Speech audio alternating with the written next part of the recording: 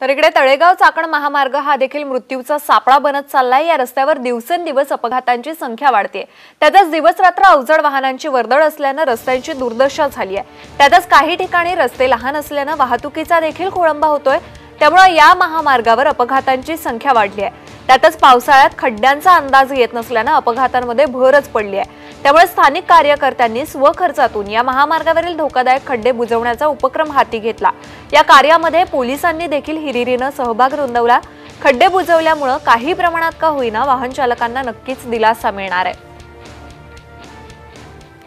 फार मोठमोठे खड्डे पडल्यामुळे अनेकांना आपल्याला आपले प्राण आणि जीवाला मुकावं लागलेलं आहे. सार्वजनिक बांधकाम खात्याच्या अक्षम्य दुर्लक्षामुळे अनेकांना आपले जीव गमावे लागलेले आहेत.